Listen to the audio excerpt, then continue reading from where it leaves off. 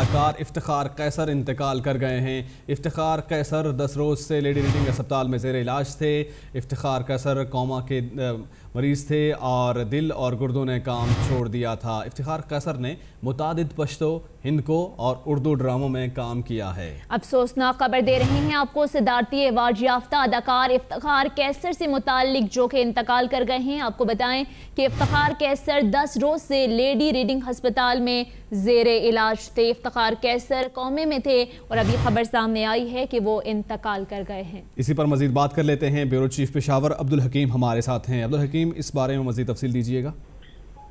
جی بالکل، یہ صدارتی ایوارڈ یافتہ افتخار قیسر جو کہ نہ صرف خیبر پختونخوا بلکہ پورے ملک بھر کے لیے ایک مشہور اداکار رہے ہیں۔ مختلف پشتو زبان، ہند کو اور اردو کے بے شمار ڈراموں میں کام کرتے رہے ہیں۔ اس وقت لیڈرنگ اسپتال میں انتقال کر چکے ہیں اور گزشتہ دس دنوں سے وہ لیڈرنگ اسپتال پشاور میں داخل رہے ہیں۔ وہ کومے میں تھے۔ ڈاکٹروں کے مطابق ان کی گردوں اور عرض قلب میں کافی عرصے سے مبتلا تھے۔ تاہم اسپتال میں جب سے داخل ہو گئے تھے، تب سے وہ کومے میں تھے اور آج وہ انتقال کر گئے ہیں۔ جی۔ جی عبدالحکیم، بہت شکریہ آپ کا۔ Bureau chief Capital T V Peshawar ہمارے ساتھ تھے۔